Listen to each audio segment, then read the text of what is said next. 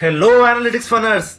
Welcome to Analytics Fun. As you know that we are solving the Tableau official sample paper which is given on Tableau desktop examination guide. So we are solving right now the question number 5 here. The question number 5 is a field that shows average home values for the United States in 2016 is most likely and there are four options to it discrete date part dimension, continuous date value dimension, geographical dimension, and aggregated measure. The correct answer of this question is fourth, that is aggregated measures.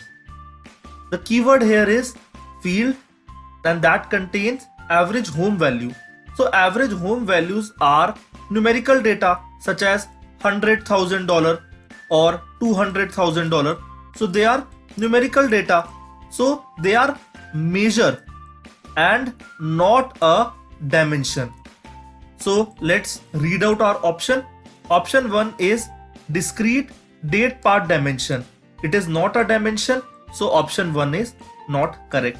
Continuous date value dimension, again a dimension, so option 2 is also not correct. Geographical dimension, again it's a dimension, so option 3rd is not correct. Aggregated measure, yes the field is measure. So option 4 is correct.